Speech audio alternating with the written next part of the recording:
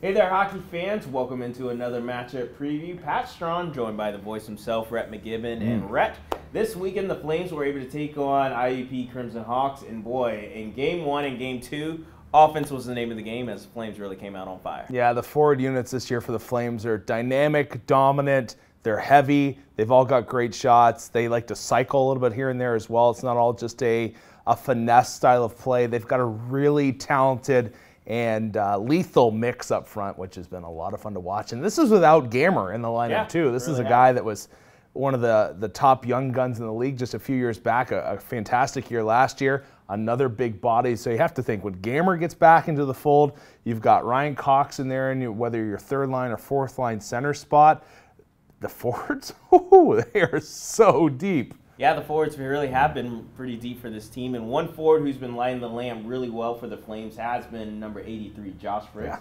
And Monica Garland got to talk to him after game one. So, Josh, obviously you've had a dominating start to the season, two back-to-back hat tricks. That is very impressive. What's allowed you to come out so strong this year? Um, honestly, just my line mates playing with Quinn again. Um, we got good chemistry, and then uh, Artie as well. He came in, complimented us both very well, and honestly, it's- just been uh, it's felt good. And uh, the boys are just they're feeding me, and the pucks are going in. So happy about that. And then the chemistry of the team as a whole. You guys just seem to really be on the same page this year. You know, it always takes a little bit of time to get in a group, but you guys are just all on the same page. Talk about the team chemistry this year. Um, ever since the start of the year, we've had the same lines so far. We haven't switched much up.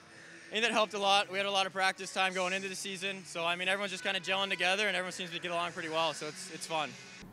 And yeah, Rhett, as Monica was just talking with uh, Josh Fricks, I mean, the Flames Forge unit has really been something pretty special Yeah. here at home, and it really paved the way into game two, but not just being offensively dynamic, but defensively as they got their first shutout of the year. Yeah, Tyler Myers had a quality game. Didn't see a lot of rubber, but he still uh, made the stops when he had to. And the, I really, like you talked about, defensively dynamic. I really like the Flames D this year. And a big part of it is I always think that if you don't notice a defender, he's doing his job well. Yeah. Colin Baird, you know, he scored a goal, you noticed him there, but uh, defensively, have you really noticed him? No, because he's playing solid, he's making quality decisions, he's getting the puck out and doing a good job. Dimitro Kopolanski, this is another guy that uh, just is doing his job. And he doesn't have to be flashy, he makes simple, quality plays.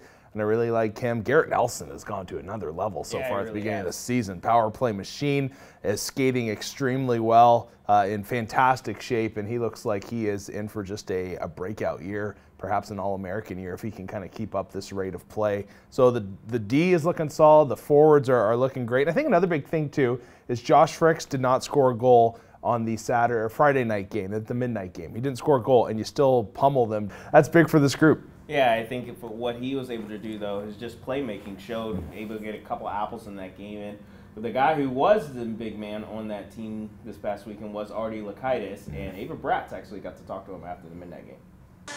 Lakaitis, you've had a great start to your own career as a Flame. What do you see on the ice that best represents that? I mean, I think uh, we're playing as a team, trying to be together, communicate, playing for each other. It's yeah, that's the only way to succeed. I think as a team, as an individual, I, I don't know, trying to shoot pucks, use the speed, something. Yeah. And your offense is very strong. What do you think contributes to that as well? Just playing smart, simple, and together with the partners. That's pretty much it. Yeah, keep it simple.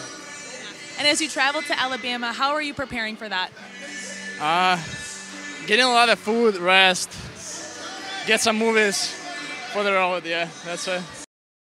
And Rhett, we turn our attention now to the Flames heading down south to play Alabama. It's Yeah. been quite some time since the Flames have traveled there to play in their own barn, and last time they did, Flames had some trouble. So talk a little bit about that matchup between the Tide and the Flames. Yeah, it's uh, the difficulty level now goes up one notch, and you go down to Alabama, like you said. And this is a, a good opportunity in multiple ways. You get away from the LIC, the guys get to hang out a little bit more. You always on your first road trip, you have some bonding experience, which is a lot of fun.